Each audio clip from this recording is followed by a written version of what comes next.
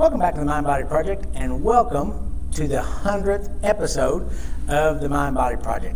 100 weeks, um, we've shown up every week uh, to bring you the Mind Body Project. Had some amazing guests over these 100 episodes. I've shared a lot of uh, content over these 100 episodes, hours and hours and hours of content, of things to hopefully uh, give you things to think about. Hopefully, I brought you guests to, uh, that share their stories that, that maybe gives you insight to their life, but also an insight of how um, they handle life. How do they manage life through their struggles, through their triumphs, all those different things. And so today is all about just celebrating 100 episodes. Um, I celebrate because for me it means 100 weeks in a row I have uh, come up with content or had guests um, to bring um, over the over those hundred episodes and showing up, being consistent um, is one of the things. It's always the um, always the advice I give when somebody says, you know, I want to do this or I want to do that. I want to he- live a healthy lifestyle. I want to um, reach these goals. I want to do these different things. What's your advice? I always say, be consistent. And so I try to model that in my life. And through this podcast, through the Mind Body Project, I hope um, that is one way that I've been able to model consistency of every week showing up to bring content, um, new content every single week um, to share with you. So I just really wanted to kind of talk about the last hundred episodes. You know, where I can go over every single episode. That's a lot of episodes, a lot of topics that I covered over the last um, hundred episodes. That's, I mean, we're just two weeks shy of two years of two, no, my math isn't good. It'd be four weeks, four episodes of making two years straight. But I just want to share some of the things over the last hundred episodes that I have have really learned. Um, some of the things that I've struggled with, some of the successes I've had, and I just wanted to share those um, with you. Um, you know, one of the things is, and is sometimes, believe it or not, it's hard to come up with a topic. Week after week, um, it, it's hard to find a guest. It's hard to think of you know who would who would fit um, what I want to share with my listeners on the Mind Body Project. Um, it comes sometimes it's what what lesson do I want to share this week on the Mind Body Project. so it's coming up with topics sometimes. And when I you know when I started the podcast two uh, almost two years ago, 100 episodes ago, um, it didn't really dawn on me. I just thought you know I have bunch of ideas. I'll go ahead and put them out there. But what happens week after week when those ideas start getting harder and harder to come by? It, it, it is what I found is the challenge for me is that I have to always be learning. I have to always be learning and trying new new things, new ideas, and so I can share those with you each week. Um, because I never I never like to share something that I haven't tried, or uh, I'm always the biggest guinea pig, especially when being a trainer for the last 16 years, when it comes to exercises and diet and all those, I'm the guinea pig. I'll try, I'll do anything. Um, I'll, I'll, try it just to see before I tell a client, hey, this would be good. Um, you know, uh, probably uh, a couple years ago, I decided to do the half marathon at Cowtown in Fort Worth. And I had a new idea. You know, typically the week, the, the plans, if you look online, they're about 12 weeks long. And I thought, what if there was a way to decrease that? Um, because when you decrease that training period, you decrease um, chances of injury, um, the amount of miles, and all those things in motivation, uh, all those things that go into extended plan of training.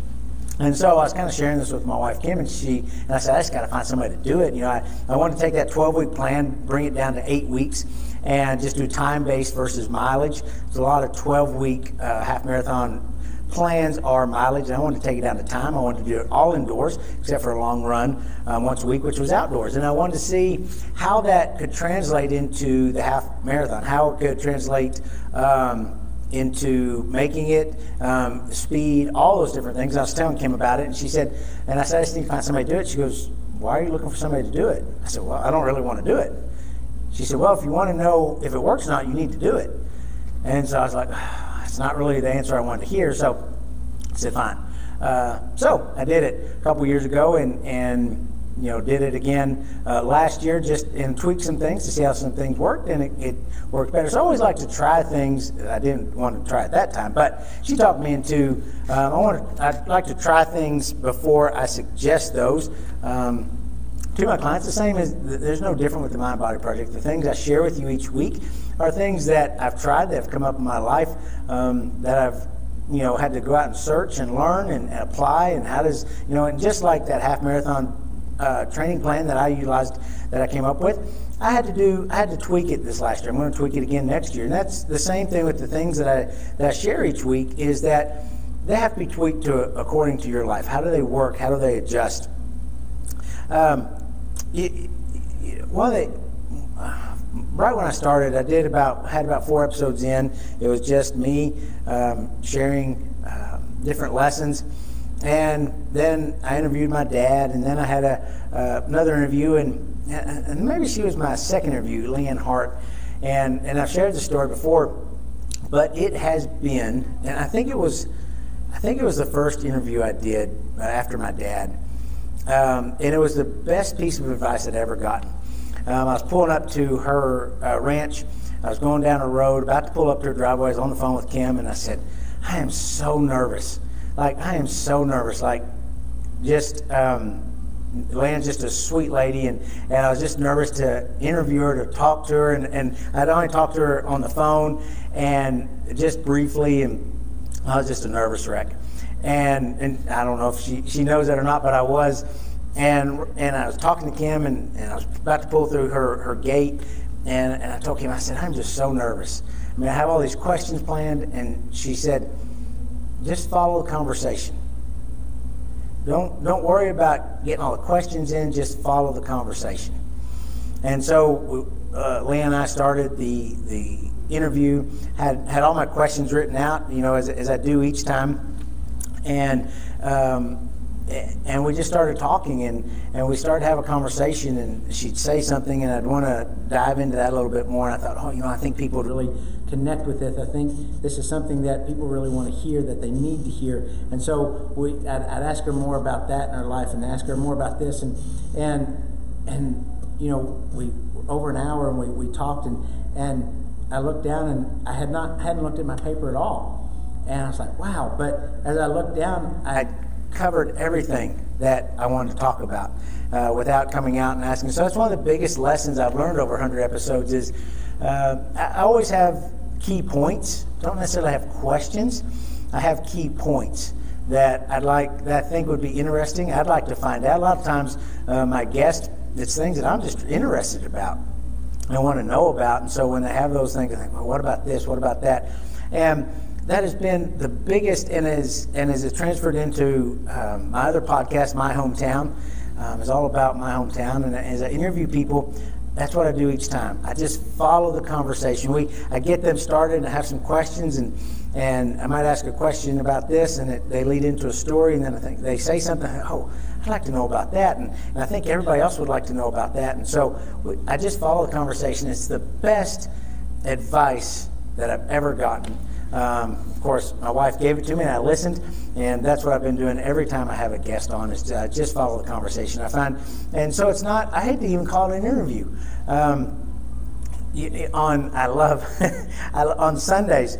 Uh, I watch the Today Show with Willie Geist, and uh, about halfway through his show, he has um, Sunday sit down where he interviews a guest, and he um, you know, he says you can find the full interview on his podcast, and I always like to tell, can I call it, say it's it's his uh, podcast, because that's the way it sounds. But anyhow, it's kind of goofy. But I always think it's called Sunday Sit Down, where they just having a conversation. That's what they do, and that's always been my goal. Is I even I, that's why I hate to call an interview. I just it's a conversation. And when I have guests on, I say, oh, I'm so nervous. It's not, you know, I don't do that. And I said, it's just, I have this little bitty camera and I have a microphone that you're going to be talking into. You won't even notice it. It's just going to be you and I having a conversation and and they're nervous but once we start talking for the first couple minutes they just loosen up and they go oh it's just a conversation. It's just me sharing my story. It's just me sharing uh, my life. Um, so that's that's what i try to do each each time. Something else i've learned is um, you know it's kind of like have to work at it at, at doing a podcast because you know what? Have all these people listening and, you know, wanting to watch and listen to my podcast each week. And you know what happens as time goes on? Those numbers start to go down. They go down, they go down. I think, wow, what am I doing wrong? And so, I, so it, it encourages me that I need to learn new techniques. Do I need to become a better communicator? Do I need to be have a better camera presence? Do I have, need to do some different things with my voice? Do I need to have more engaging topics? More um, ask different questions of my guest and engage a little bit different. So it makes me think more of what should I do different? Do I, my communication skills need to be better? Do I need to hone in on those? Um, so it just helps me be better. And I don't take it as, well, you know, they, they just don't care. They, they don't want to improve their mind. They don't want to worry about their body. No, it's, it's what can I do better to get those listeners back, to get those viewers back. So it's something I've learned that just because you have a podcast doesn't mean people are going to listen. How do you attract those people? How do you attract those listeners? When I had my first gym in 2004, I honestly thought that you unlock the door and everybody would come in. And I probably thought that a little bit with podcasting. I thought, well, why wouldn't everybody want to hear? It's not the case. There has to be something that that that catches their ear that they want to listen to. Like, now, why do I want to listen to him? Why do I want to listen to that guest? What do they have to offer that I could utilize? And that's what it is. Why do we listen to podcasts? Why do we listen to um, books or books on tape on audio? Why do we read? Why do we watch a movie? Because they have something that hooked us that we want to be entertained, we want to be educated, we want to enjoy. Whatever it is, it has to have that hook that catches us. Uh, you know, in know, 100 episodes beginning of this year, um, January, I think it was January. I'm in February, but January, I think. I think it was the first this year. I started not only recording the podcast um, audio, but also started videoing it to put on YouTube. That has been quite the challenge to uh, get both of them done, figure it out. How do you do it? How do you edit? And I've learned a lot. And that's just been in the last um, 25, 26 episodes of this year. And so that, that's been an experience of now, it, you know, just recording video recordings now I have to set up a light and have to kind of set up a, a studio per se. And, and it's a lot of work to get everything set up to be, because I don't leave it up all the time. So it takes a lot of work. And so then I have to remember, oh, I'm, I'm on camera. I just can't um, use my voice. I have to also look presentable. Uh, my kids, they got me this great shirt for Father's Day. It says the Mind Body Project. So now I'm official. Um, I have an actual uh, attire that if you know if you're watching, you see see the Mind Body Project logo on my shirt. Uh, so so that's kind of neat. What what else have I learned over 100 episodes? And you know I go back to oh man, only three or four or five people watched it on YouTube. Sometimes maybe 10 or 20. Man, I only had 100 people download my, this episode. I only I only had 25 people download this episode. And sometimes that can get me down um, just like it, it could all of us. But I have to remind myself that my goal is to impact the world. And maybe that one person, and, and I've been downloaded all over the world, um, all over different countries, from China to Russia to England to Australia, um, all, all over. And maybe that one person I impacted is in a different country. Maybe that person I impacted is in this country maybe this the person I impact is in my town. And isn't it really, if I want to impact the world, don't I record this and do this each week for the one person? For the one that it's going to impact. And I'm not sure which one that is. Who's going to listen to it that's going to, who's going to maybe not listen to it this week?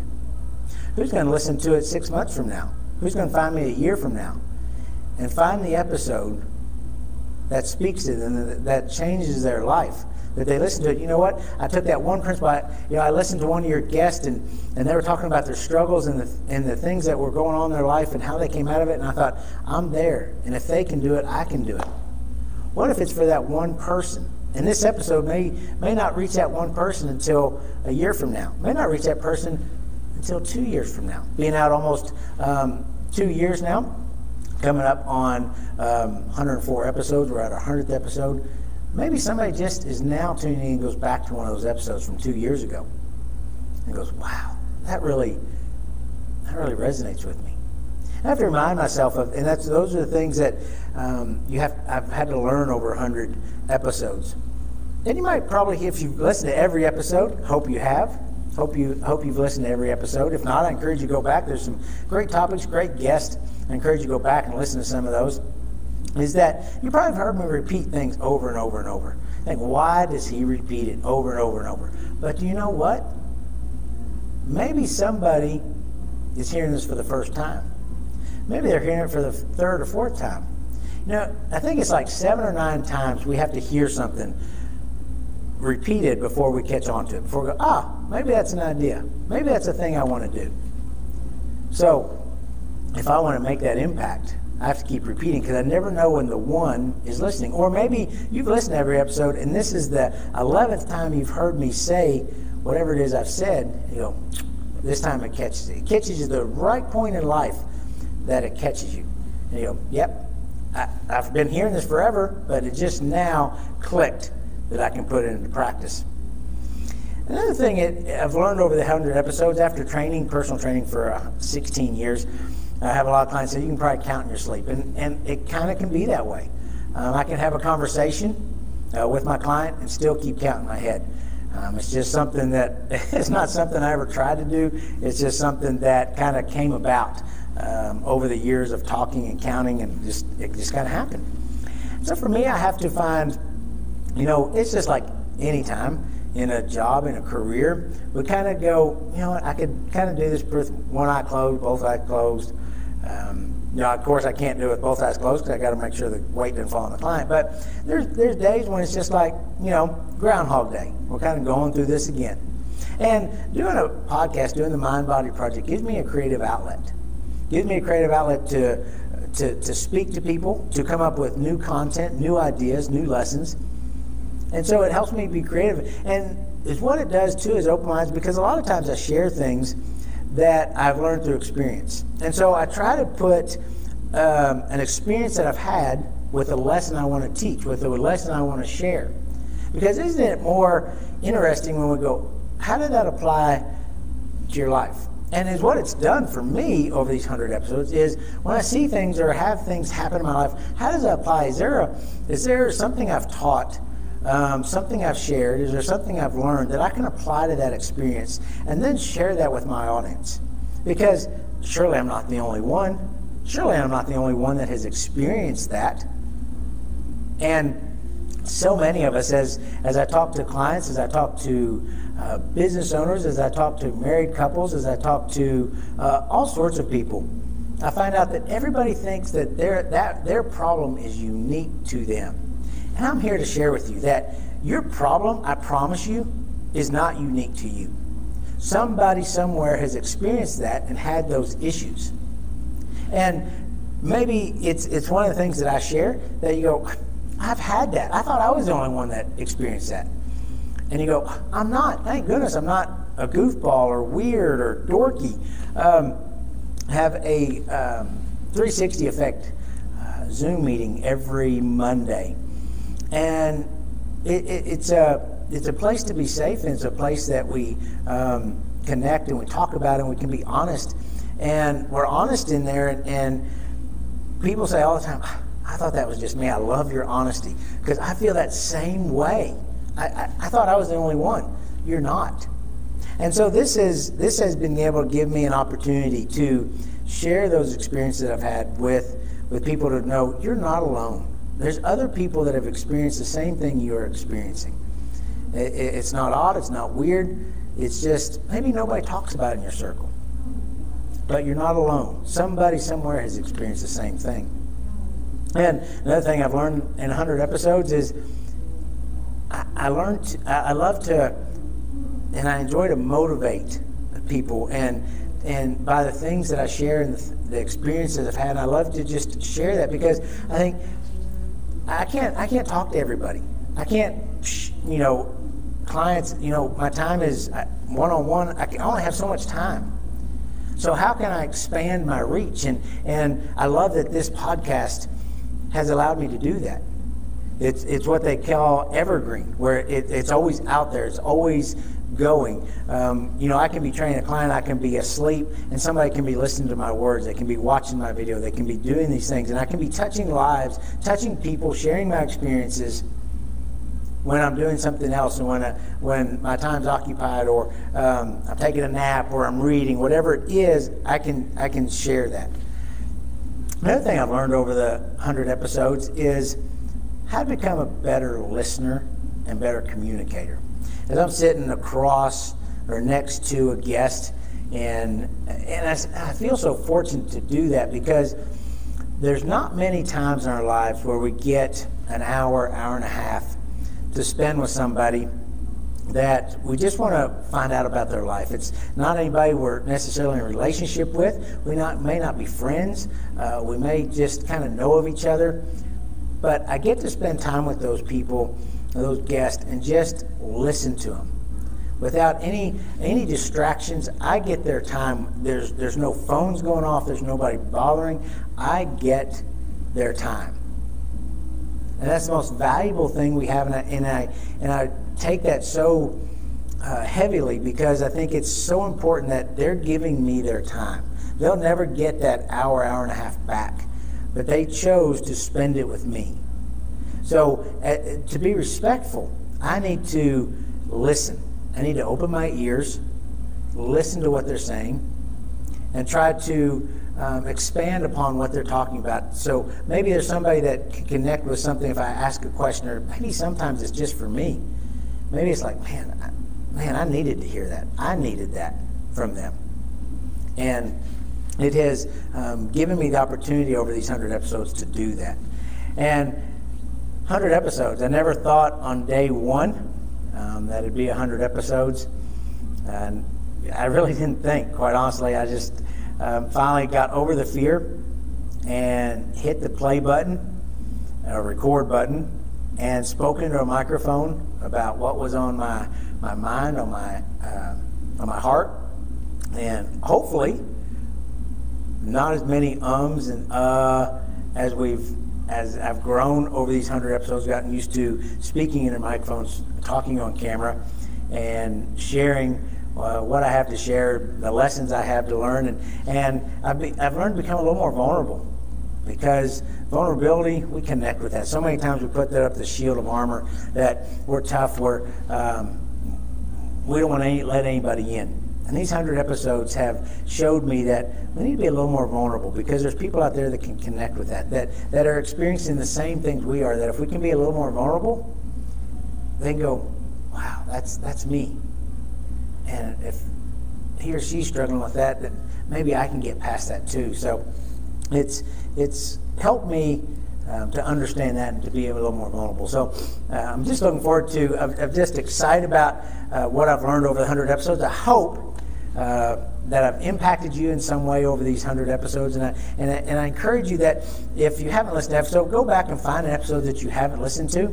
And we're going to have a lot of great new content coming up. Um, we're going to have a lot of great guests coming up in, the, in this next year. And just to share um, their stories and we'll share more of my stories. But to share more of my stories, I have to have more experience. So it encourages me to go out and do things and and have those experiences so I can share with them, share with the lessons you've learned. So tune in for the next 100 episodes because these 100 episodes have uh, really encouraged, inspired me, and have helped me grow. So I hope they have helped and inspired and motivated you to grow. And I hope I have been able to help you grow and impacted your world in some way. So thanks for taking a little time to join me today. And as I tell my wife Kim every night before I go to bed, it's Bomb of the Night, double A, out.